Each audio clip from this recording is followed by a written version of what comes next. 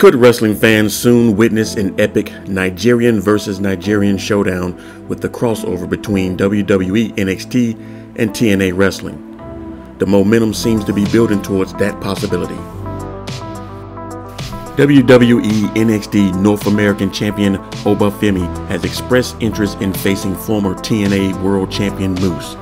While NXT and TNA have been collaborating recently, Moose has hinted that he would prefer to compete on Raw or SmackDown, yet he welcomes Oba Femi's challenge.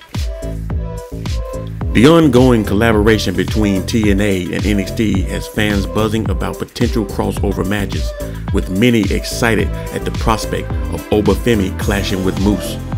Femi, known for his powerful moves, strategic prowess, versus Moose, whose sheer strength and agility make him a formidable opponent, would be a match for the ages, possibly even for the North American Championship. Could we see a TNA wrestler capture an NXT title and bring it back to their respected brand? Only time will tell. Let me know in the comments below and don't forget to like, share, and subscribe for more wrestling content right here on Wrestling Club Elite.